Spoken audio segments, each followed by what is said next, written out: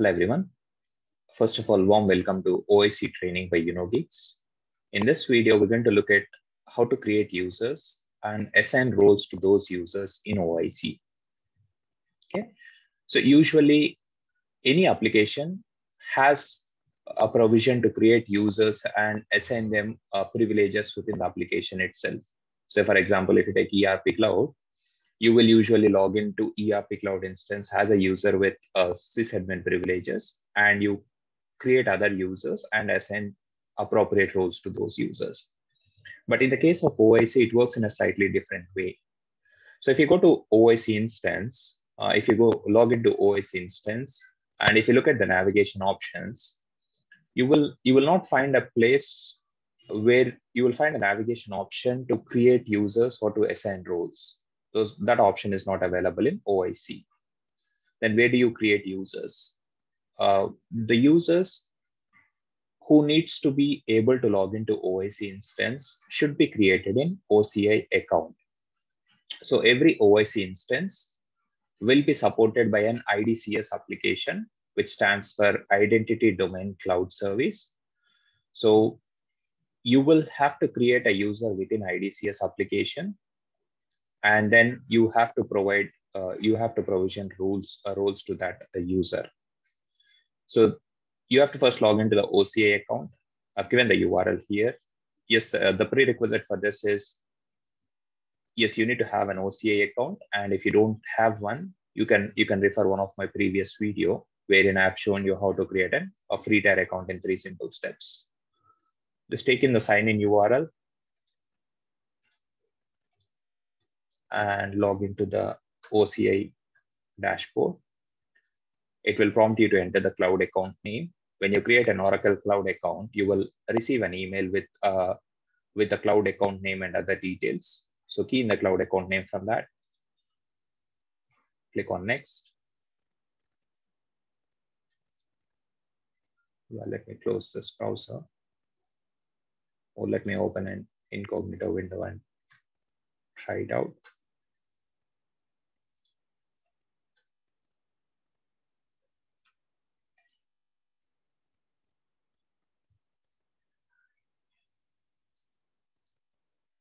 So go with the default option. Uh, you're validating yourself with uh, IDCS application. Just click on continue there and use a single sign-on option.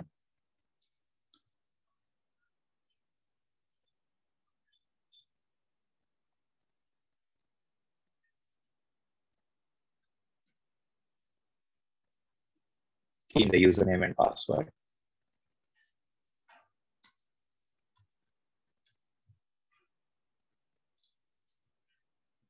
And sign in.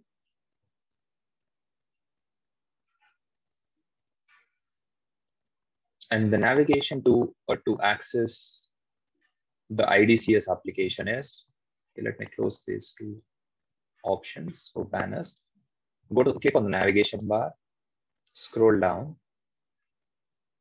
go to governance and administration section, and under that you have identity under identity again you have something called as a federation. Click on it.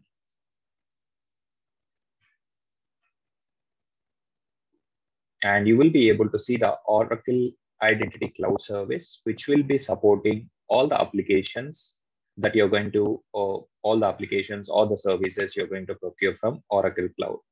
So this acts as a single central uh, identity cloud service which will support all other applications so to launch it, you just have to click on it. You will have a console URL in there. Just click on it. And it will take you to an IDCS admin console. I've logged in as an, uh, an, as an IDCS administrator, and I'll be able to see all the options that are available in here. So at the moment, there is only one uh, user available in the instance or created in the instance. You, you see few applications, groups, and logins. And if you want to create a new user, or if you want to look at the other options, click on the navigation option. If you click on users, you will be able to see the list of users that exist in the instance.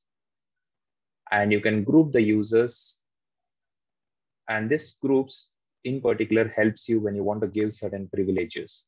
Say, for example, when you give, uh, when you want to give a set of privileges, say uh, 200 users, instead of assigning those privileges to each and every user, you will assign those users to a group, and to that group you give those uh, privileges that you want to that you want to assign.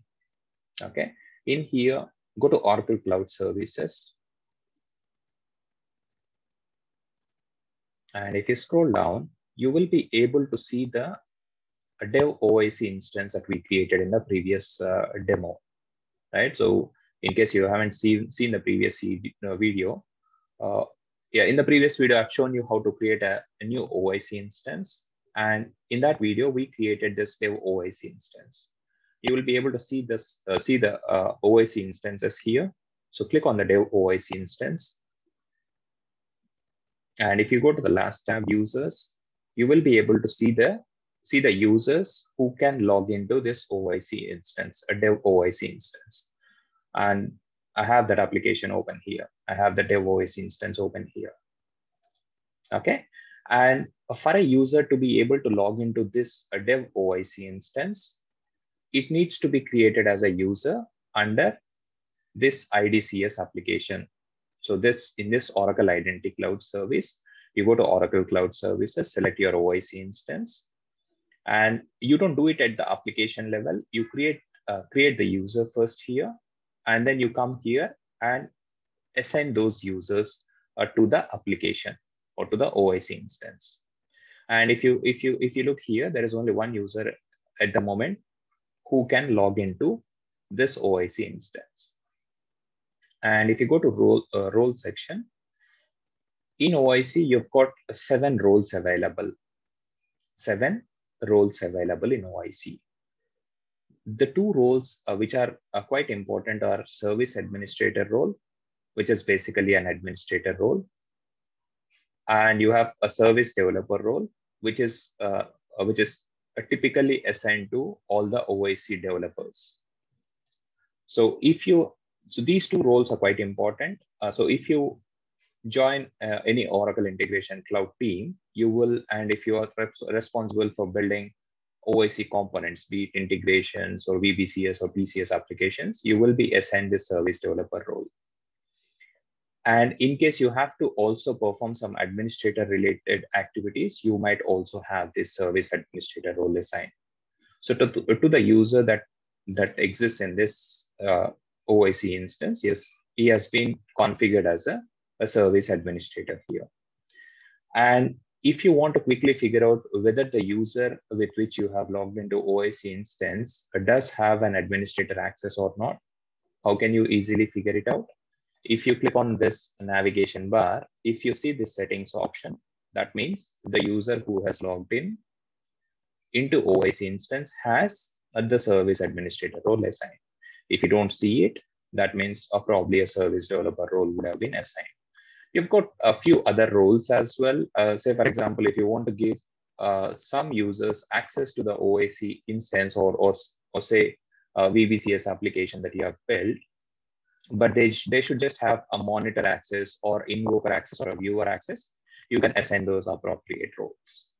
So in case you're more interested about uh, uh, how, uh, what, what are the nuanced differences between those, between the other roles that are available, you can go through the URL that I've given in the PPT.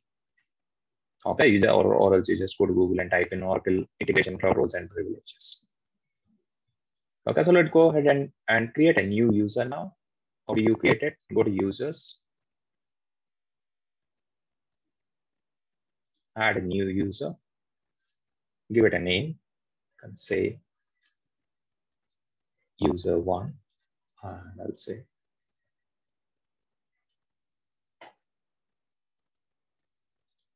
Let's look at the existing user.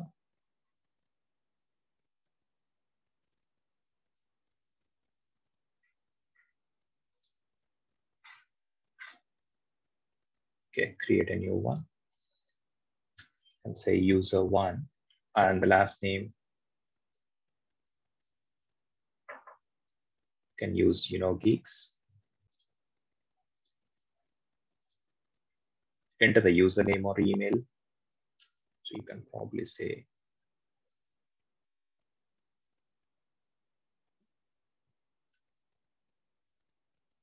user1 at the dot com.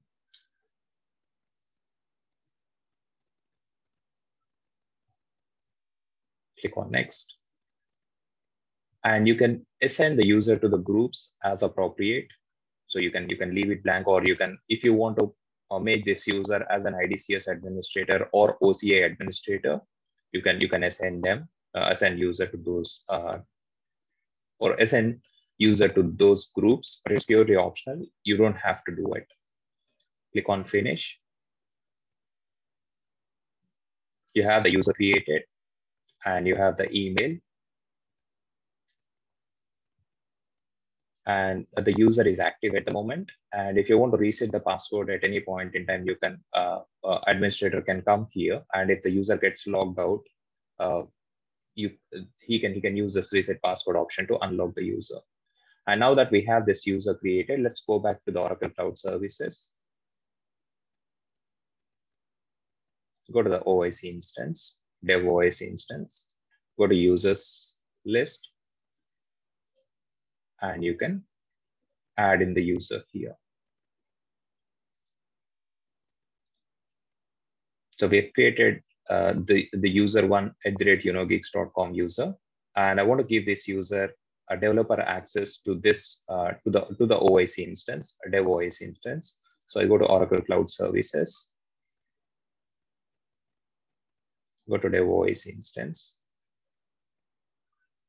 go to users. You won't have an option to add in the user here. Uh, you go to application roles, and I want to give a user one at the rate unogeeks.com a service developer role uh, so that he can log into this OIC instance and perform the uh, the developer or, or, or, he can develop the components in, within OIC. So I click on this menu option, assign users, pick up the user one that you have created, click OK. And that's how you assign roles to the users. So after USN roles to the users, if you want to add in any additional roles, you can do that as well. So if you want to make the user administrator, you click on this, click on assign users. And since uh, Prasad is already an administrator, it is grayed out. And if you want to make even the user one as, uh, as a service administrator, you can pick him up, click OK. And user one becomes a service administrator if you do that. So yeah, let's go ahead and, and try to log into the instance as, uh, as uh, user one at oic.com sorry, at, at rate.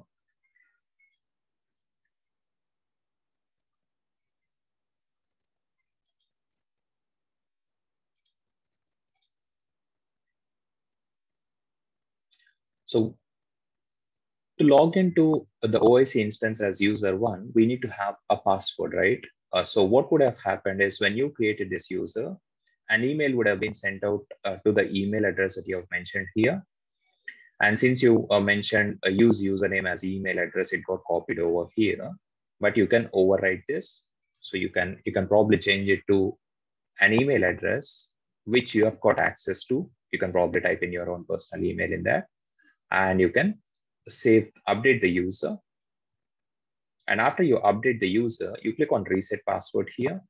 And when you click on reset password, it asks for your confirmation. Just click OK and you get a confirmation message uh, saying that an email has been sent out to uh, this particular email account. So let me log into that email account and get the password. Okay, I've logged into the uh, I've logged into my email account uh, info at unogeeks.com and I've received an email uh, and it's asking me to reset the password. So I click on reset password option here and I'll be able to set the password which I can use to log into uh, the OIC, dev OIC instance. I will use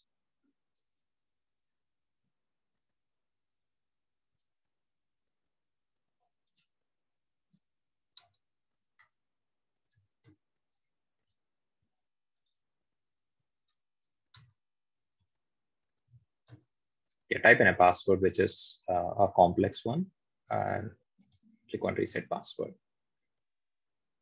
And you can continue to sign in. Or you can probably launch the OS instance again, and you can try to sign into it.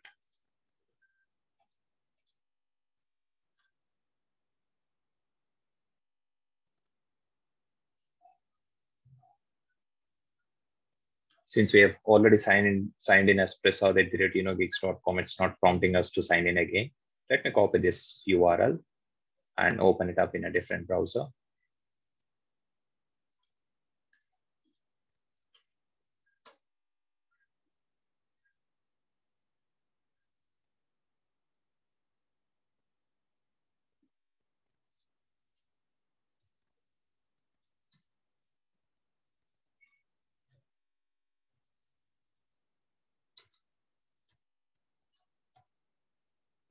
Key in the username and password, and you can sign in.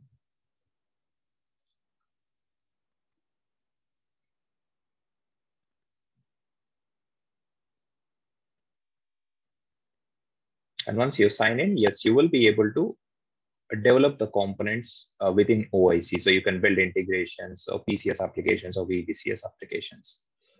So since this user has got only the service developer role and not the administrator role, you do you don't get to see the settings option here.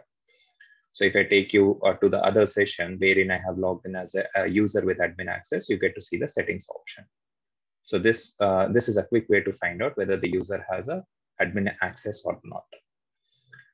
So this is how you create a user in OIC and assign roles uh, to that particular user.